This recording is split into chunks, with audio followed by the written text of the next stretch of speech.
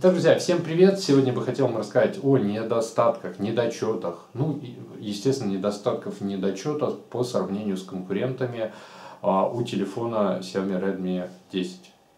Поехали! Первый недостаток это не особо яркий экран. Сейчас, конечно, все выглядит неплохо, но если вы будете э, в яркий день выйти, ну, короче, у меня есть ролик, я на нем сравниваю все экраны, начиная от Redmi Note 7, потом, э, значит, э, Redmi Note 8 Pro, потом вот этот смартфон, э, значит, и Redmi, прошу прощения, Xiaomi Mi 10T. И яркость самая маленькая именно у этого смартфона, и это печаль.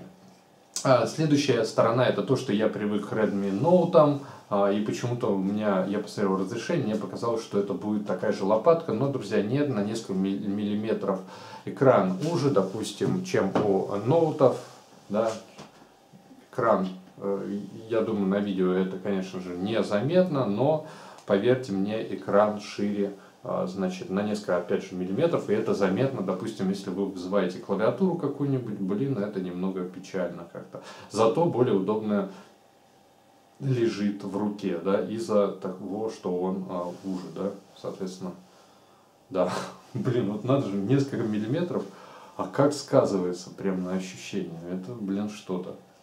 Друзья, следующий недостаток, на мой взгляд, это 4 гигабайта оперативной памяти. На мой взгляд, этого не совсем достаточно современным для современного смартфона. Допустим, на Redmi Note 8 Pro, который я покупал даже дешевле, там, за 14 тысяч рублей где-то год назад, или может быть даже больше. Так вот, на этом смартфоне, друзья, значит 6 гигабайт оперативной памяти и мне кажется, что для современного смартфона это вот как бы золотая середина, да, э, не 8 гигабайт, а вот именно 6, да, 4 гигабайта для современ, мне кажется, это немного недостаточно, но это так. Друзья, следующий недостаток это то, что камера, э, значит, э, вот эта вот фронтальная камера, она на 8 мегапикселей, допустим, Redmi Note 8 Pro на 20 мегапикселей.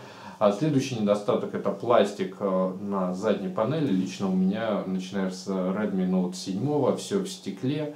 А задние панели Redmi Note 8 Pro тоже стекло. Mi 10T, конечно, другая ценовая категория, но тоже стекло. Я как-то так привык к стеклам. И вот, знаете, что здесь пластик, хотя он э, изрядно пытается делать вид, что он, э, друзья, значит, э, что он стекло и очень дорогой смартфон.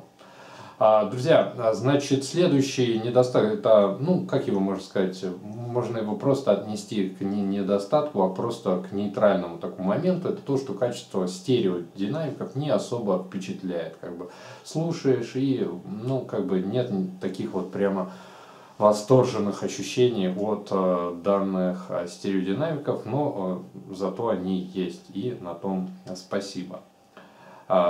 Друзья, а, значит, что еще? Камера, друзья, камера, основная камера, она ужасна, простите меня, ну вот я говорю, то, что я смог сравнить, э, с Redmi Note 8 Pro или даже с Redmi Note 7, Камера хуже, чем на Redmi Note 7, хуже, чем на Redmi Note 8 Pro, так еще и снимает э, Full HD, причем ужасно снимает, просто даже не ужасно, а просто, ну, короче, очень странно, зачем делать видео вот такими вот в современном мире, делать видео в Full HD, так еще и такого плохого качества, мне вообще не понравилось.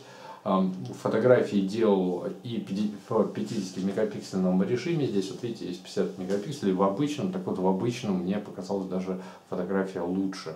Ну, короче, а, камера это разочарование реальное разочарование.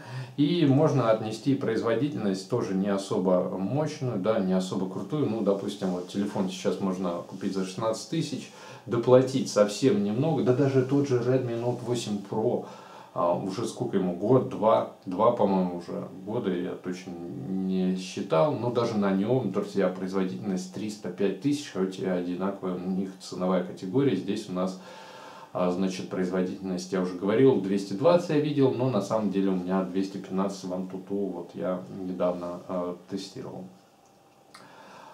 А, друзья, вот, собственно, и все. Экран не особо яркий, но неплохой, IPS, но не особо яркий. Я это говорил в самом начале. Друзья, вот, собственно, и все. Я не знаю еще, что сказать.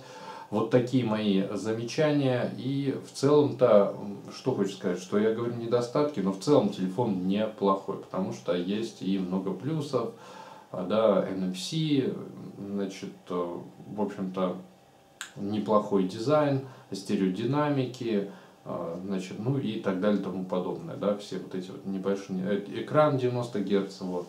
То есть в целом телефон за свои деньги, в общем-то, а, ну, немного, э, немного, но радует.